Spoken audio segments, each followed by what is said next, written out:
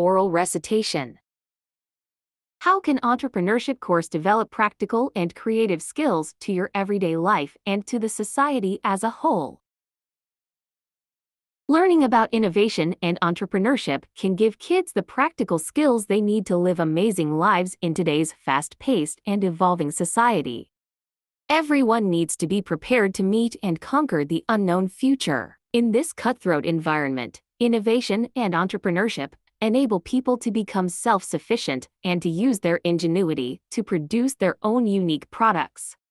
An individual's ability to tackle any challenge is improved by studying creativity and entrepreneurship. With the aid of offered creative goods and services, entrepreneurship mostly assists in resolving difficulties of daily life and alleviating pain points.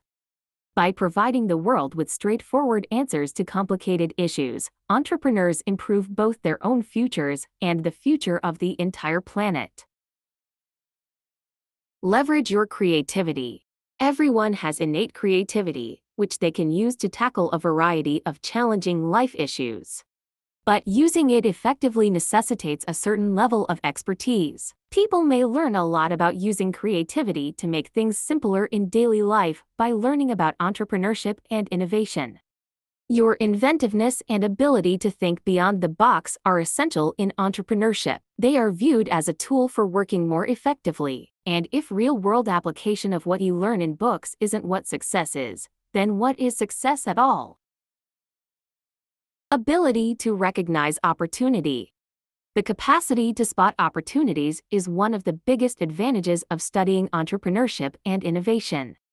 The focus of entrepreneurial studies is on using one's knowledge and abilities to commercial prospects. For people looking to invest, it can be crucial to be able to assess a company's value by looking at its plans, procedures, etc., the ability to articulate one's own vision is thus precious when one is prepared to take the entrepreneurial leap.